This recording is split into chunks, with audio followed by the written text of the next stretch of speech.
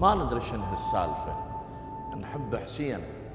إيش قد بيطعم منا الله عشق الفقره عندما يكون الشاعر متعلم من الحسين كيف يكون ثائر نقصنا نثور مثلك بس صعوبة نثور.